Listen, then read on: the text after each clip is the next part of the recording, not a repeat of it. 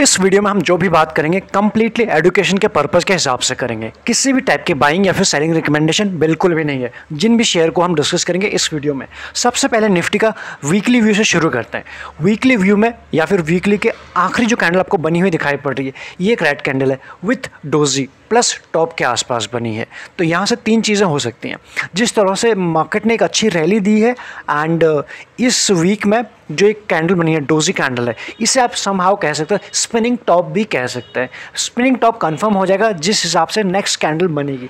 But यहाँ से जो यहाँ से एक्सपेक्टेशन बनी है नेक्स्ट वीक की, जो कल से शुरू हो जाएगा, यहाँ से कुछ कंसोलिडेशन की तरफ़ ज़्यादा ध्यान जा रहा है। कोई भी वीकनेस अभी बिल्कुल नहीं दिखाई पड़ रही। अभी भी मार्केट के जो जो जो ब्रेथ है स्ट्रॉन्ग है, अभी भी जो लेवल्स हैं, वो ऊपर के आने बचे हुए हैं। ऐसा यहाँ से लगता है। बट वो सीधे बिल्कुल नहीं आएँगे। बीच बीच में कुछ हिकअप्स भी आएँगे, कुछ कंसोलिडेशन भी होगा और धीरे धीरे मार्केट अपने हिसाब से ही आगे बढ़ेगा। तो इस वीक में हमें ये समझ में आ रहा है, यहाँ से कंसोलिडेशन हो सकता है। वीकली के टाइम फ्रेम में इतना समझ आ रहा है। अगर इसी चीज़ को वन डे में समझने की कोशिश करें, अब आप यहाँ पर देख सकते हो लास्ट के फोर डेज़ में क्या हुआ है? सिर्फ़ कंसोलिडेशन हुआ है, उससे ज़्यादा कुछ भी नहीं हुआ। अब ऐसे में समझ लेते हैं सिंगल व्यू देखे जाते हैं, यहाँ से क्या क्या हो सकता है। सिंगल व्यू में दो रेंज निकल के आ रही है, जिस रेंज के अंदर निफ्टी कारोबार करता हुआ हमें दिखाई पड़ सकता है। पहला जो है जो है सेवनटीन थाउज़ेंड 250 से लेकर 17,400 के बीच में। ये है एक छोटी रेंज जिसके बीच में हमें कंसोलिडेशन होते हुए दिखाई पड़ सकता है। और जो बड़ी रेंज है एग्जैक्टली exactly जिसके बीच में निफ्टी को काम करना होगा इस वीक में 17,200 से लेकर 17,500 के बीच में। ये एक ऐसी लेवल है जहाँ निफ्टी अगर जाएगा ये बड़ी रेंज में जाएगा अदरवाइज़ छोटी रेंज में ही ये कंसोलिडेट कर सकता है। तो इसलिए इन रेंज के ऊपर आप डिस्कस या फिर डिस्कस कर सकते हो अपने एडवाइज़र के साथ या फिर अपनी रिसर्च कर सकते हो। अगर इसी चीज़ को हम टू आर में समझने की कोशिश करें, आप यहाँ देख सकते हैं, बाकी सारी चीज़ें, एक सेकेंड जिस रेंज की हम बात करें वो रेंज है आपके सामने दस लेवल ये है 200 के लेवल जहाँ पे निफ्टी सपोर्ट लेगा और ये है 400 हम बात करें मैक्सिमम जो बड़ी रेंज होगी 500 के आसपास। मतलब कुल मिला के हमारे पास ये वो रेंज होगी जिसके बीच में निफ्टी इस वीक काम कर सकता है। ये रही बड़ी रेंज और छोटी रेंज के आपके सामने ये रहे यहाँ से लेकर यहाँ तक। तो बिल्कुल लेवल्स बिल्कुल सही हैं निफ्टी के लिए। अब एज ऑफ़ नाउ कुछ कंसोलिडेशन हो सकता है यहाँ पे। इस वीक की अगर हम बात करें। बाकी लेवल्स अभी भी दूर के हमें थोड़ा सा दिखाई पड़ सकता है, लेकिन जिस लेवल के आसपास हैं, यहाँ पर लॉन्ग टर्म इन्वेस्टिंग के लिए यहाँ से सही टाइम नहीं है। हाँ शॉर्ट टाइम ट्रेडिंग हम कर सकते हैं मोमेंटम को प्ले कर सकते हैं लेकिन जो अपना स्टॉप लॉस है, उसको प्रॉपर यूज़ करके अपने जो अपने रूल्स हैं, उनको प्रॉपर फॉलो करके। Otherwise as of now weakness नहीं है। लेकिन ऐसा भी एग्रेसिव होने की ज़रूरत नहीं है कि हम यहाँ से पूरा एग्रेसिव हो जाए एंड उसके बाद कोई भी रूल फॉलो ना करें। और कहीं ऐसा ना हो, किसी शेयर में या फिर मार्केट के हम नियर टॉप या फिर टॉप में आस टॉप के आसपास फंस जाएँ। इसलिए थोड़ा सा सेफ़ रहने की ज़रूरत भी है। रूल्स को स्ट्रिक्टली फॉलो करने की ज़रूरत है। ये रहे निफ्टी का व्यू। अगर इसके बैंक निफ्टी को समझने की कोशिश करें बैंक निफ्टी के ऊपर जम करें, इससे पहले जो हमने निफ्टी में जितनी बातें की हैं, निफ्टी का तो लेवल्स आप समझ गए, एक रेंज समझ गए, लेकिन जो स्टॉक स्पेसिफिक हैं, उनमें एक्शन भरपूर रह सकता है। इसलिए जो अच्छे वैल्यूएशन पर अभी भी मिल रहे हैं या फिर अच्छे सपोर्ट के आसपास जो जो शेयर मिल रहे हैं, उनमें अच्छी हमें तेज़ी भरपूर दिखेगी। इसलिए वहाँ ये रेंज बाउट का कंसेप्ट अप्लाई नहीं होगा। इसलिए इसके ऊपर भी आप ध्यान रख सकते हैं। तो उसके बाद हम फोकस करते हैं बैंक निफ्टी के ऊपर। बैंक निफ्टी की जो लास्ट कैंडल बनी है, वो कलर में रेड रेड है, उसका कलर रेड होने के बाद वो एक बुलिश कैंडल हमें बनते हुए यहाँ से दिखाई पड़ रही है। तो एक चीज़ तो ये रहा, अगर हम बैंक निफ्टी की भी रेंज को समझने की कोशिश करें, यहाँ पे अगेन दो रेंज हमारे लिए निकल के आती है। एक छोटी रेंज और एक बड़ी रेंज जो हो सकती है इस वीक के लिए।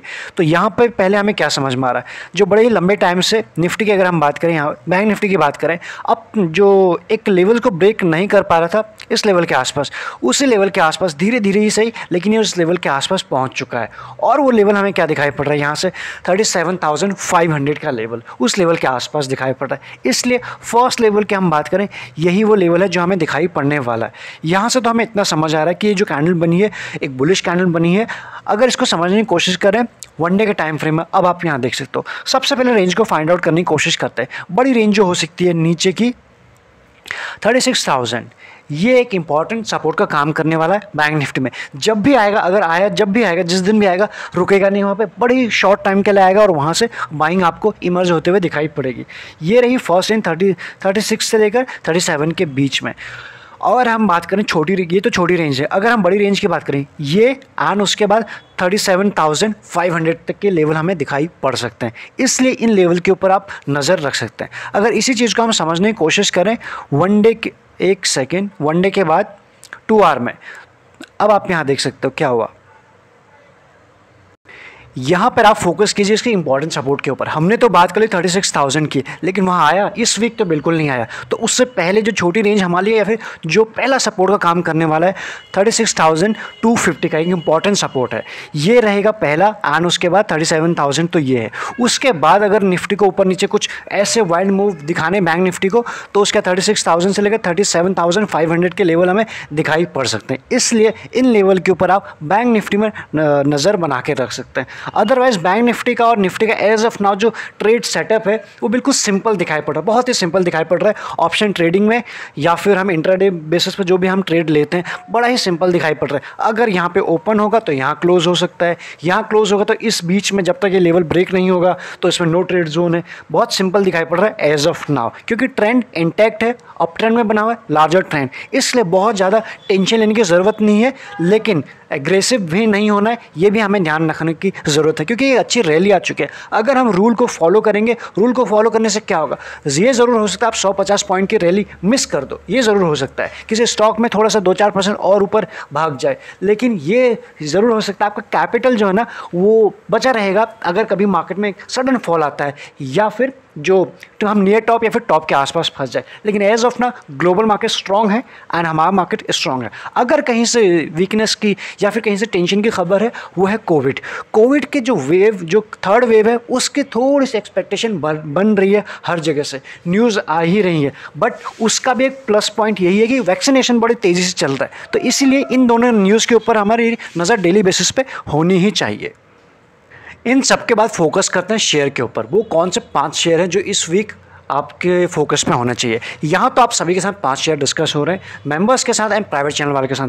कई सारे शेयर डेली बेसिस पे शेयर होते रहते हैं। कभी पाँच या छः तो एक दिन में जिस हिसाब से मार्केट हमें अपॉर्चुनिटी देता है। इसलिए एक्स्ट्रा लर्निंग के लिए आप ज्वाइन बटन भी कंसिडर कर सकते हैं। आपको उसके सारे लिंक्स डिस्क्रिप्शन में भी मिल जाएँगे एंड उस ज्वाइन बटन चैनल पर भी मिल जाएगा। तो पहला स्टॉक है कजारिया, जिस लेवल के आसपास है। या फिर ये बात करें, पिछले एक ब्रेकआउट के बाद, एक लेवल के आसपास अभी कुछ दिनों से कंसोलिडेट कर रहा, आप यहाँ पे देख सकते हो, एक ही प्राइस के आसपास, बिल्कुल एक रेंज में फंस चुका है। इसलिए शेयर यहाँ पे कभी भी हमें ब्रेकआउट दिखा सकता। अगेन ट्रेंड इसका अप ट्रेंड बना हुआ है, इसलिए प्राइम फोकस पे होना चाहिए। जो पिछले एक दो दिन की अगर कैंडल की बात करें, यहाँ पे हमें वीकनेस कहीं भी नहीं दिखाई पड़ रही है। जब भी नीचे आ रहा, अभी भी इसमें बाइंग ही बाइंग ही दिखाई पड़ रही है। इसलिए शेयर प्राइम फोकस पे होना चाहिए। जब भी ये बॉक्स बॉक्स से बाहर निकलता है तो किस तरफ़ निकलता है? अप ऊपर की तरफ़ या फिर नीचे की तरफ़ ये ब्रेक डाउन होता है। लेकिन as of now trend strong है, ऊपर के लेवल अभी भी देखे जा सकते हैं। इसलिए पहला शेयर हमारे प्राइम फोकस पे होना चाहिए। करंट जो प्राइस है इसका वन वन एट एट के आसपास है करंट प्राइस भी अच्छा है, ऐसे में थोड़ा सा और मिल जाता है हमें नीचे वन वन फाइव ज़ीरो और गुड है। यहाँ पे और भी अच्छा प्राइस हो जाएगा, यानी ग्यारह सौ पचास के आसपास। तो इसके ऊपर आपके प्राइम ये प्राइम फोकस पे होना चाहिए। आफ्टर कजारिया हम बात करें सेकंड शेयर के ऊपर, जिस लेवल के आसपास ये शेयर आपको दिखाई पड़ रहा है, यानी एक अच्छे लेवल के आसपास दिखाई पड़ रहा है, अपने इंपॉर्टेंट सपोर्ट से बाउंस बैक करने की कोशिश कर रहा है।